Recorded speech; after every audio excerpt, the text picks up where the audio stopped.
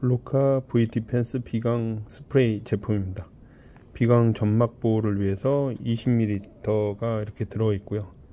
코에다가 넣어서 비강 내에다가 분사를 시키면 점막 보호를 시켜줄 수 있는 목적으로 사용합니다.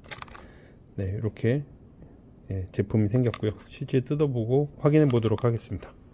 네, 이렇게 제품을 뜯으면 이렇게 중간에 예, 케어할 수 있게끔 이렇게 제품이 있고요. 이렇게 하게 되면 안 눌러지게끔 이렇게 만들어 줄수 예, 있습니다.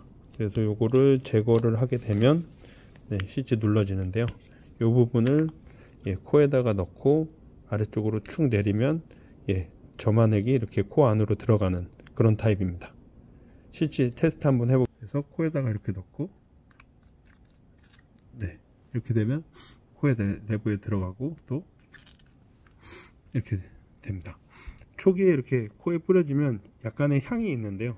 그런 향이 코에서 이제 나면서 코 내부에 있는 예, 점막을 네, 촉촉하게 만들면서 호흡도 조금 좋아지는 것 같기도 하고 내부의 점막을 이렇게 보호해주는 그런 스프레이였습니다.